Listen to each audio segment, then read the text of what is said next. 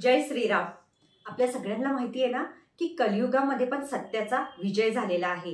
कारण अयोध्येला रामजी आलेले आहे आणि मी रामजींबद्दल खूप जण म्हणत आहेत मला की तुम्ही रामजींबद्दल काही बोलल्या नाही त्याच्यावर व्हिडिओ बनवला नाही ताई. तर आज मी रामचरित्र मानस याविषयी आपल्या सर्वांसोबत बोलणार आहे. माझ्या हातामध्ये रामचरित्र मानस आहे. तुलसीदास जीवनचरित्र आहे हे.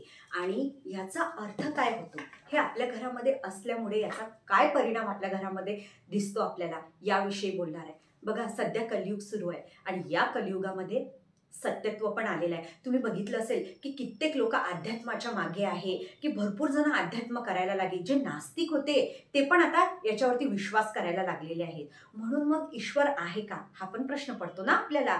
पण बघा रामजी रामजी सत्यावर चालणारे होते एक वचनी होते. आणि बघा कलियुगामध्ये पण सत्याचा विजय झालेला आहे. मग रामचरित्र मानस आपल्याला काय सांगते? सगळ्यात आधी रामजींचं जीवन हे खरंच सुखी नव्हतं. त्यांना स्वतःला माहीत नव्हतं की माझ्यासोबत पुढे काय होणार आहे. पण कर्माचे भोग त्यांनाही भोगावे लागले. आपण म्हणतो ना की मी कित्येक दिवस झाले भोगत आहे वाईट होत आहे माझ्यासोबत. बघा ईश्वरांना सुद्धा भोगावं लागलं. आज कुठं रामजींना न्याय मिळालेला आहे. तर आज बघा रामचरित्र मानस मी आता ओंकारेश्वर आणि उज्जैनला गेले होते. आणि मला खूप दिवसाचं माझ्या डोक्यामध्ये चालू होतं की रामचरित्र मानस एक वेळा आपण आपल्या घरी आणावं. याचा एक एक अध्याय जसा पाठवील तसा करावा.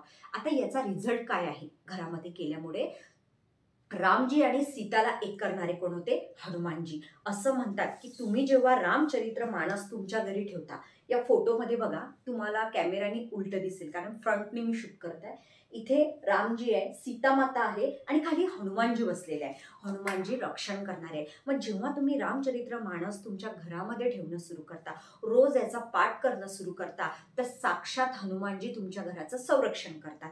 जर तुमच्या घरामध्ये नवरा बायकोंची बॉन्डिंग जुळत नाही. लगातार निगेटिव्हिटी आहे. बाहेरची बाधा आहे. या तुमच्या घरामध्ये एकोपास नाही आहे. तर बघा तुम्ही मंदिरांमध्ये जर कधी गेले तर बघा स्टार्टिंगला हनुमान हनुमानजींना ठेवतात की रक्षण करण्यासाठी बसलेला आहे झेंडा घेऊन. अशा प्रकारे रामचरित्र माणस तुमच्या घरी असल्यावरती तुमच्या घराचं संरक्षण होतं. मी तर माझ्या घरी आजच म्हणजे आजच आणलेलं आहे.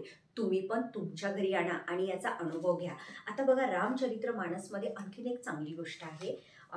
जसं मी मी अनुभवलेली आहे. याच्यात एक प्रश्नावली सुद्धा आहे. जेव्हा तुम्ही ते प्रश्नावली पण काढताना तर त्याच्यामध्ये तुम्ही तुमच्या मनातला कोणताही एक शब्द घेऊन तुम्ही तुमचा अँसर काढू शकता. पण ते कसं काढायचं काय सगळं याच्यामध्ये असतं. आणि हे हिंदीमध्ये आहे मी घेतलेलं. तुम्हाला मराठीमध्ये मला माहिती नाही आहे की नाही पण रामचरित्र मानस मी हिंदीमध्ये घेतलेलं आहे आणि हिंदीमध्येच आहे हे जास्त. तर याच्यामध्ये भरपूर प्रश्नांची उत्तरं तुम्हाला मिळतात. तुमचं जीवन काय आहे कसं आहे काय? तुम्ही जेव्हा जय श्रीराम जय श्रीराम म्हणता आणि त्यानंतर हनुमान चालिसा सुरू करताना तेव्हाच हनुमानजी तुमचं ऐकतात. कारण तुम्ही लोक म्हणता ना किती दिवस झाले हनुमान चालिसा म्हणता रिझल्ट येत नाही. पहिले रामजींना आवाज द्या त्यानंतर हनुमानजी जागृत होत असतात. म्हणून म्हणतात की तुम्ही कोणतीही गोष्ट करता त्याच्यात बुळामध्ये शिरा. कसं आहे काय आहे? डॉक्टरकडे जायचं असेल तर पहिले कंपाऊंडरशी बोलावं लागतं ना तुम्हाला की बाबा काय कसं पोहोचावं डॉक्टरपर्यंत? तसंच तुमच्या जीवनाचं आहे. तुम्हाला हनुमानजींना जागृत करायचं आहे तर पहिले रामजींचं स्मरण करा.